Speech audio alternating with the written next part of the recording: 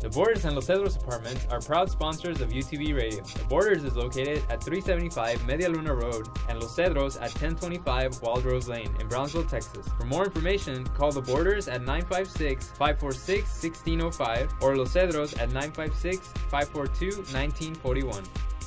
UTB Radio is sponsored in part by Valley Baptist Healthy Women's Center, located at 3525 International Boulevard, Brownsville, Texas. For more information, call 956 504 4038 or visit valleybaptist.net.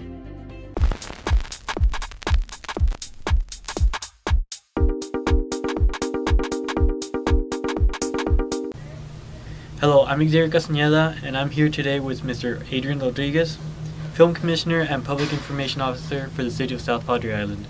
Mr. Rodriguez is going to talk to us today about future events being held on the island. Welcome, Mr. Rodriguez. Thank you for having me.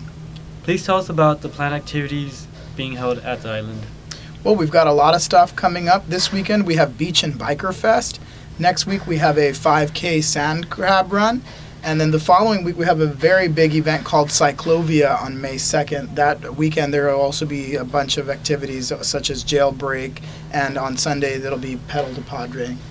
Are there any family friendly events going on? Actually, all of them are pretty much family friendly.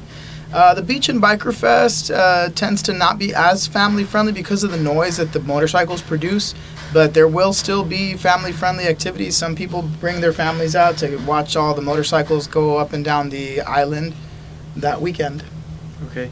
And uh, I heard you mention Cyclovia. How, how can participants register for that? There is actually no participation fee or anything uh, for Cyclovia.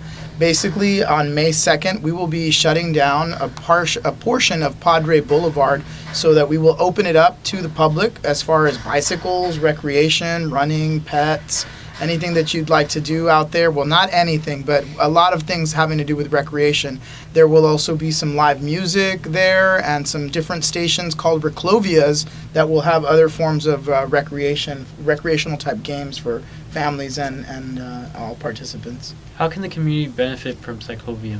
Well, one of the things we're becoming known for at South Padre Island is our health activities, our 5Ks, all of our runs, and a lot of our recreational stuff that is uh, pretty much part of a big health initiative here in the valley to push people to get out uh, off their couches. And uh, we have a very big problem in the Rio Grande Valley with people being overweight, high incidence of diabetes.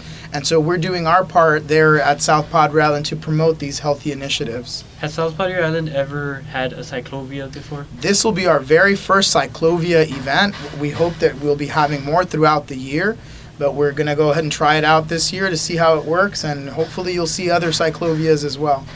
Is there anything else you'd like to add?